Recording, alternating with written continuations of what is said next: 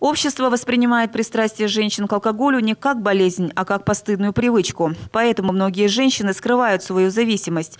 Родные терпят и не предпринимают никаких мер, стесняясь огласки, не обращаются к специалистам. Так произошло и с Даланой, которая не заметила, как алкогольная зависимость от веселых посиделок на кухне плавно перетекла до трехдневных запоев. Затяжные вот такие два-три дня. И такое бывало. Но это уже, как объясняют врачи, это уже э, как э, втягивание в какую-то степень. Да, э, ну это, конечно, нежелательно, но все-таки спиртные напитки это такая, такое, что такой омут, который действительно как болото засасывает человека. Далана оправдывала свою зависимость тем, что от спиртного становится легко, как будто ее жизнь с выпитой рюмкой играла новыми красками.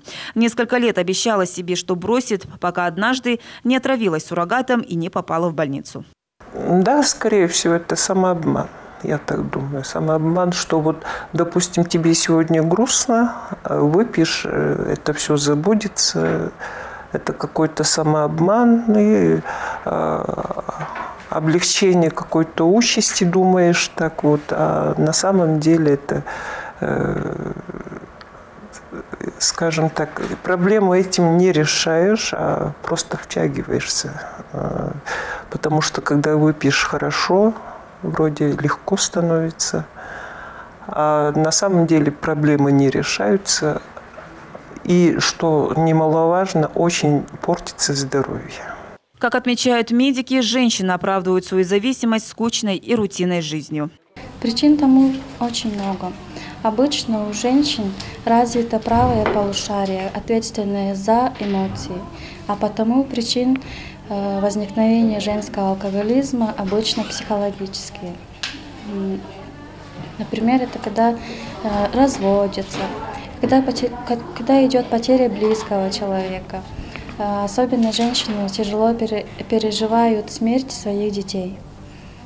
Также особенная группа риска – это домохозяйки, а, которые, а, интересы которых исключительно на доме и семье. Как ни странно, но это самая уязвимая категория, подверженная к женскому алкоголизму. По словам врачей республиканского наркодиспансера, в Туве за последние пару лет обратившихся к специалистам зависимых женщин стало больше, что говорит о желании излечиться от этой болезни.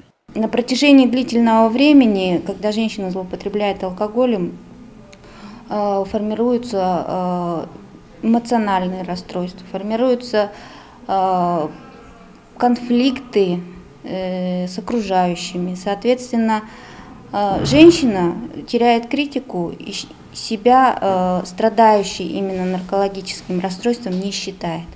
Для этого в первую очередь необходима э, помощь окружающих, понимание и достаточно хорошая мотивационная работа и своевременное обращение за специализированной медицинской помощью. Несмотря на устоявшиеся социальные нормы, не надо стыдиться зависимости от алкоголя, говорят врачи.